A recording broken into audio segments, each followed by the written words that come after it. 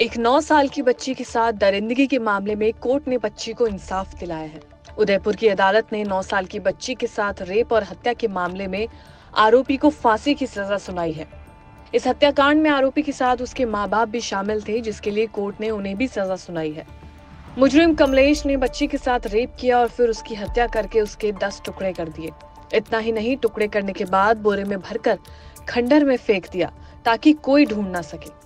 इस दौरान आरोपी के माँ बाप भी टुकड़ों को ठिकाने लगाने में साथ थे। माँ बाप ने दिया आरोपी बेटे का साथ।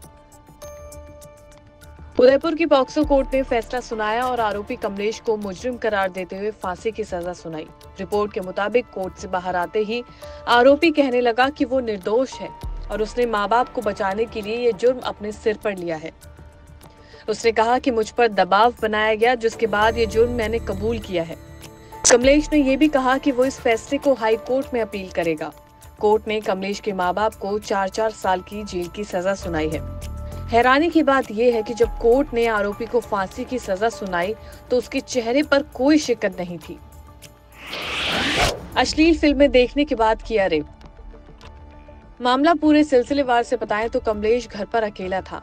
वो अपने फ़ोन पर अश्लील फ़िल्में देख रहा था। तभी उसे ये बच्ची दिखाई दी। कमलेश ने बच्ची को चॉकलेट के बहाने से अपने पास बुलाया और जाल में फंसाया। घर पर बुलाकर लड़की के साथ रेप किया। कमलेश ने अपने नापाक इरादों को अंजाम दिया और जब बच्ची को उठाने की कोशिश की तो वो उठ ना सकी, क्योंकि उसकी मौत हो चुकी थी, जिसके बाद आरोपी ने बाथरूम में रखी छुरी और पत्थर से बच्ची के हाथ पैर के टुकड़े किए। शव के टुकड़े कर खड्डर में फेंके। जब इस बारे में आरोपी के माँ बाप को पता चला तो फिर तीनों ने मिलकर घर से दूर शव के टुकड़े फेंकने का प्लान बनाया और बोरे में डालकर घर से 200 किलोमीटर दूर टुकड़े खंडर में फेंक दिए। बताया जा रहा है कि बच्ची कमलेश को भैया कहकर बुलाती थी और रक्षाबंधन पर राखी भी बांधती थी। उनतीस मार्च को बच्ची के परिवार ने शिकायत दर्ज कराई थी। उस दिन बच्ची चार बजे स्कूल से आई थी और फिर अपने कपड़े बदलकर ये बोलकर बाहर गई कि वो अपने ताऊजी के घर जा रही है। लेकिन उस दिन वो वापस घर नहीं आई। पुलिस को शिकायत मिलने पर डॉग स्क्वाड की मदद से बच्ची के शव के टुकड़े खंडर से बरामद किए।